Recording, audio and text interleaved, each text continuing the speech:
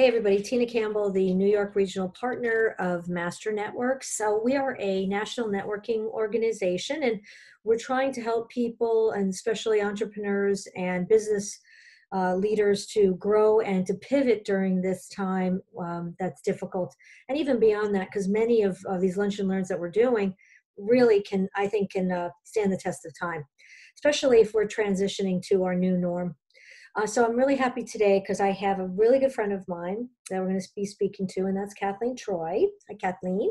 Hi. Thank Hi. you. And uh, she's going to be talking about healthy priorities in times of radical challenges. So welcome, and you know, tell us about yourself, and then tell me about these um, healthy priorities. Okay. So again, I'm Kathleen Troy, and I live in Connecticut and I have been a hair colorist for 30 years. I born and bred in Michigan. I moved to New York. It was one of the biggest uh, challenges and exciting things I ever did for myself. I followed my sister. And I got involved in the beauty industry for 30 years as a hair colorist in top salons in New York and in Westchester. And I loved it. It was great to have an area of expertise. But I found the, re- the thing that drew me most was the relationships with the people in my chair. And the thing that intrigued me the most was watching different people go through a metamorphosis because we know people for years. And what made one, per- there's the saying, as we grow older, we can become bitter or better. Yep. I saw a big difference between the, the choices that people made. Sure. And I, yes. And I wanted to support people to continue to grow and be better. So I became a life coach and awesome. if these are the conversations I have the rest of my life, I will be so sated. it's great. It's great because I've, you know, I've, I, I, you know, I've had so many conversations with you that are just, they're fantastic. And they're, they're, I walk away always feeling, you know, I can work on something or feel better about myself. So you're, you're awesome. Thank you. Thank you. I just see so much in people. That's the, you know, thank you. I have a, an extraordinary bandwidth to be with extremes and i've noticed i have extremes in my life in relationships. So mm-hmm. i have you know i've worked with the wealthiest people taking care of their hair. I have friends who may not pay rent this month. I have family from different cultures and i just i think that's been i didn't understand why i drew so many wild experiences to me but now that's been my research that's that's amazing and you know what you also one thing i noticed and i I think we share this. We both have a lot of patience, you know, and I think that's really helpful. And also, I'd say one other thing, if you don't mind me saying that, uh, comparing ourselves. And I think I think we both have a tremendous curiosity for people. Absolutely, I want everyone's story all the time. Like I just, what makes them tick. Right, right. Which makes you a good life coach because you're getting to the essence of things. Is that correct? I, I, I, like to think so. Yes, it's it is wonderful to be in impactful conversations. I I almost can't tolerate what's for lunch anymore. Do you know? I just I know, I know, I know. It's um, it, but you know what's amazing? So, like, can you explain quickly what's a life coach? Because there's so many people, and and the thing is, is I know if you could explain about kind of who you who you like to work with the most because I think that's what makes you a little bit unique. Oh, thank you. Well, the the the umbrella is transition. So one thing that coaches are really great at is help supporting people in transitioning from what they already know to what they imagine it could be. Yeah. And then helping people to distinguish what is missing between point A, where you are, and point B, the dream that you have. That's the area of coaching the people I've fine tuned my coaching for are men. And I want to say one thing ever since I declared that I like to coach men, they, I think they feel like I'm doing this to them, right? So actually, more women will come forward now because they feel they're off the hook. that is very funny. Isn't it um, it's really funny but I also say to men, look, I've been in the ear and, and spirit of women for 30 years. I could support you in your relationships as you transition. It makes sense. It makes a complete sense. And tell me, do you, did you, I think you went, went to school for this, correct? I did. I went to a great school in uh, New York City. We met every month. We spent a year being trained, and it was so much more intensive than I expected. And I am going to admit something. I went in thinking I already knew a lot because I studied so many of the thought leaders and coaching and motivational speakers. So I actually thought, oh, I just I just need to get certified. I get this. Uh, they call you out. I was I was you. They, they make sure everyone leaves extraordinarily vulnerable and with an increased bandwidth for every conversation. So I'm so grateful that I went through such a program. That's interesting. So that makes so you can say like I'm a certified life coach, correct? Yes, I I can and I do.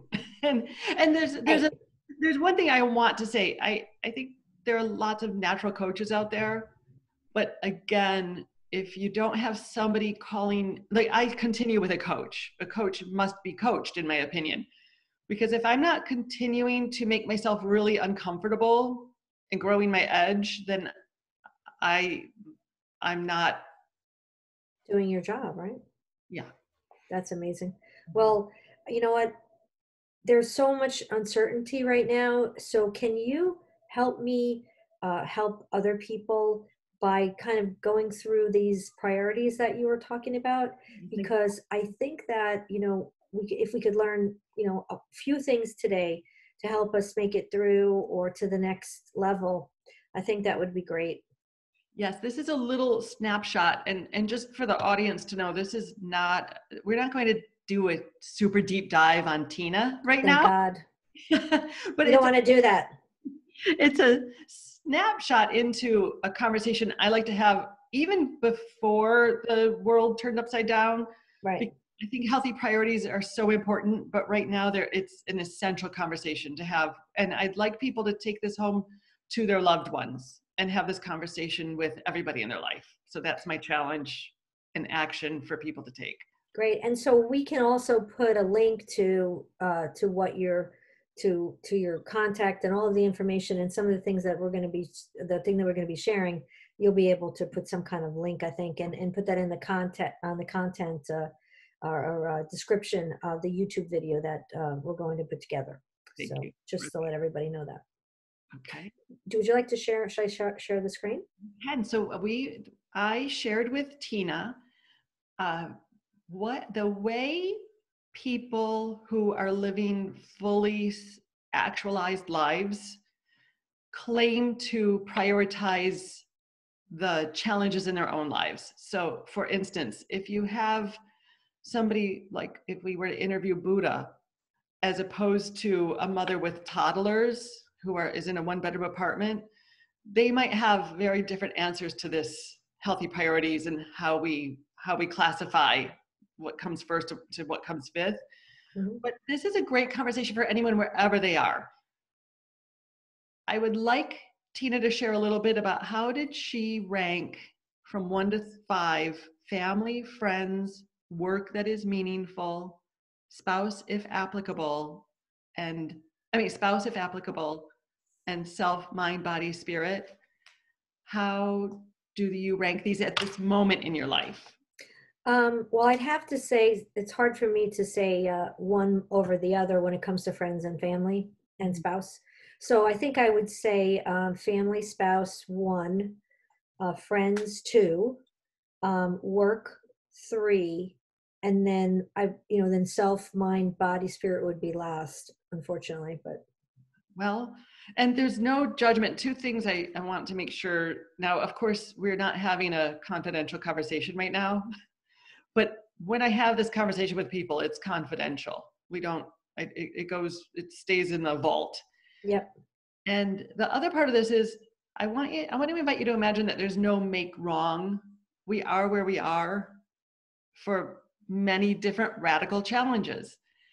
So the invitation though is to look at if you were to truly have a serene and joyful life, the order of people who say they live that 90% of the time would be self one, the mind, body, spirit, spouse, if applicable.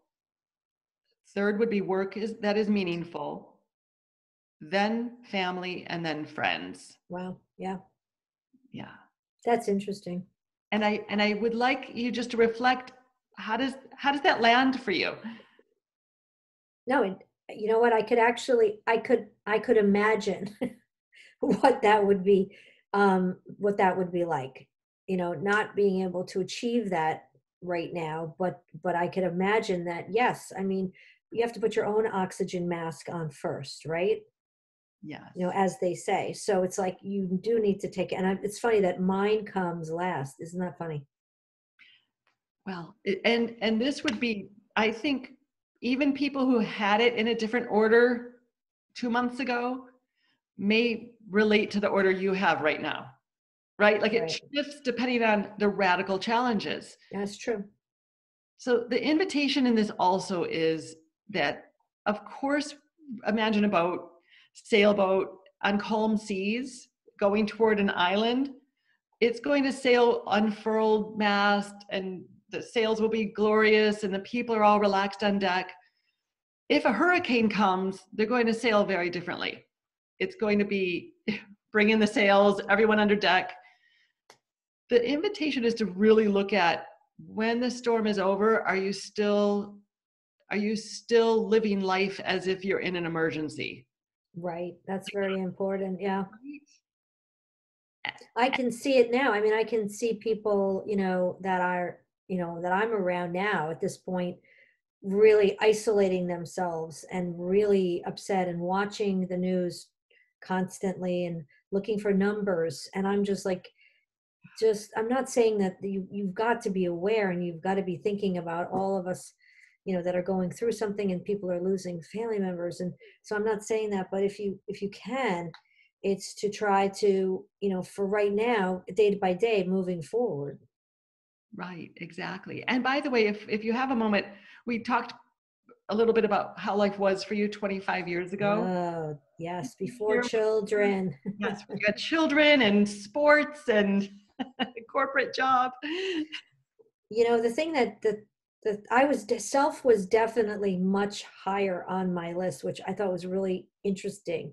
Let's say 25 30 years ago self was definitely oh let's you know let's take that um that weekend in um, skiing or you know go to the uh, you know go to the islands for a vacation. So it was much more you know work was last because i also didn't like what i did you know so i found you know i've since found my calling. So and as as you said it was mean like this is more meaningful what i'm doing now. So that moved it up. So it's really interesting how that does. And maybe it's something to think about if people are finding that their work isn't meaningful. I mean so many people are out of work but they may think about you know going for a different um, you know industry or something like that now after we all get back. Something to think about That's true. And something to do in the moment is also, yes, you're this is a pivotal moment. The other thing is because so many people found themselves at the bottom right now of the list, can you think of anything that you could do if you're open? Are you open? oh yeah Okay. Is there anything you could do? Like, I'll ask you a quick question. Do you make, do you have a, a surefire method of laughing every day? Um, yes by being on these zoom meetings makes me laugh Okay. I'm, I'm laughing the whole time Good. Yes. And so the other thing I find that people, I'm going to share, by the way, I'm not going to just keep it about you. When I took this, when my mentor shared this with me, I was at the bottom and I was extremely resistant to this list. I, I really wanted to defend my position of fifth, fifth place. There were so many Right. reasons. yeah And my mentor said, I'm so glad because if you're not resistant, there's nothing to coach. that's great Yeah. So it's, and you're not resistant, you get it. And there's still area to coach, but there's just no wrong response. There's no wrong answer. It's just, that's what I love about coaching. There's no right or wrong. It's just what is, is. Mm-hmm. Is there space to create something that allows for more meaning, more health and wellness? Because you are a tremendous leader. And I say this to all the tremendous leaders. Well, to you and to the others that I know are attracted to your circle, it, you there's a you can't run roughshod on yourself. like if you it's not sustainable that would be the only judgment i would make is Right. I think that's really key. I, I think that's, that is the whole, that you had it there like in a nutshell, sustainable. yeah. Is it sustainable? is it sustainable? And that's what is coachable. So the other possibility is i mean the things to look at when when we're at fifth place is are you are you attending to your sleep? I'm going to share something. I had to um, tell my husband that he ca- checks his computer at 3 a.m and it wakes me up. And that has made my morning routine off and i really want to be true to myself in this period of time because i am not the most organized person Mhm. and I had to have a really tough talk with him that if he's checking stocks at 3 a.m., it can't happen near me. Right, right. For your own bed. good. Yeah. And I slept like a baby last night. Oh, good. so it was looking at where do I need support? What does support look like? And Who do I turn to? asking for it, not expecting the person's going to read your mind. That's right. I could have kept going for a week until I was so mad I screamed at him at 3 a.m. But Yeah. I, now I have the the capacity to look at what support do I need. I probably need more support than I think I do. And that would be the my request for people to look at as an action step. Distinguish what does support look like in your life and invite it in. Like you mentioned people isolating. It's of concern to me. I'm going to just stop sharing so we can uh, do face to face. Okay, great. Thank you. So, um, so anyway, I didn't want you to finish. Your, uh, you stop thinking, you know, stop speaking. I just wanted, I just wa- wanted it to be face to face. it's just of concern to me that people are isolating, not looking for support. Like you and I having this conversation today. Now I can check in on you with your permission. Oh yeah. How's it going? Are you making yourself a priority? Yes, just remind you what what could you shift today? What's a 10 minute action you could take to take care of yourself? Even if it's running out in your yard and screaming. Even if that's what Except, feels except good. the neighbors are around now. oh, all right. Maybe we'll come up with some exercise to help. Go in, go in the garage.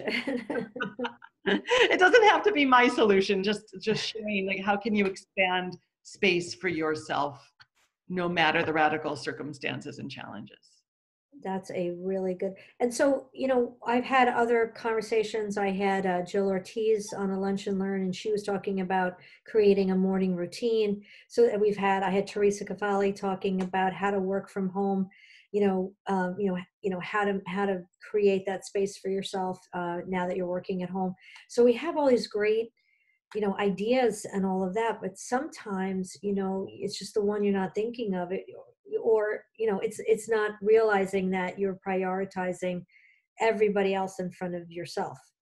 Well tina i love that you mentioned those two because i just did jill's beachbody workout this morning because she's my exercise coach and i was mia and teresa i went to her um her webinar. Productivity. Yes, because I need support. I've never worked at home before. I've never had unchar- unplanned time since I was 15 years old. oh wow This is me partnering with other people looking for more support than I think I needed. right so let me ask you something in the the, the last couple minutes that we have together um what's in, what's the next step if somebody wanted to you know uh talk to you about this what do they do Right. I would love for them to get a hold of me on the my information, uh, mkmtroy at gmail.com. I would like them to, all I'm asking is to have an impactful conversation with them. I, I'd like to have this conversation with them or another one I can dance in the moment, whatever it is that, like, there's another saying, not to be too, too coachy, but until you distinguish the breakdown, you can't usher in the breakthrough. So while we circle whatever it is that has us stuck, we're just going to keep circling like a, I don't know, pants on fire. So Yeah. I'd love to help people. I'll say the thing and support them in looking at what support looks like. and that's it's great happy for me. but that's great and you know what i think you i mean i feel and i know a lot of other people in our in our um you know organization think that you've you've found your calling Oh, thank you. i mean without a doubt i mean if there's anybody that i you know know that are is you know doing what you do is is that you've found your calling. And it's interesting so many people will want to work with women you know but yet you're like nope i i'm i'm good i want to take on you know what what men need. And i think that's you know that's so necessary during this time because we can support each other and we do quite often as women but i think the men are you know they're not they're not realizing that they need to to maybe talk to somebody. I'm very concerned about men thank Yeah. you. And by the way men have been so supportive in my life. Men it's it's really a, a payback or a pay forward because i've received tremendous support. I had i love conversations with men. They are willing to speak if we stop and let them. They are. They have so much to say. That's funny. They can be if you just just speak through a little bit I know. Um, it's it's it's very interesting. It goes back to all the relationships in our lives. So I just want to thank you so much for for coming and speaking with me and and to get this out and this message that you know uh, men and women right now need to you know make sure they're making themselves a priority um, so that they don't um, don't get burnt out and um, can move forward. And I guess because you really can unless you and I'm realizing this. I'm I, I'm just kind of reiterating what you're saying in order to make sure I'm getting the getting the uh, message. So thank you very much. so much for this time and I love the support you give me. You're always in my corner. Thank you. I think of you as the support in my life. I'm a pillar. So I needed until I met you. Thank you. awesome. Thank you, dear. Thank you so much.